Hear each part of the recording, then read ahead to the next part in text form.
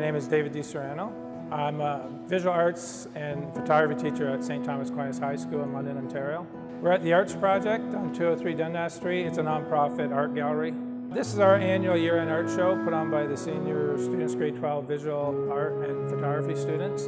And we've been doing it for over a decade now. And we, it's just a celebration of all the art and photography students have done over the year, grade 10s, 11s, and 12s. The students do artwork all year and you see it maybe up in the library or in a display case once in a while, but you don't really get to really see it all together.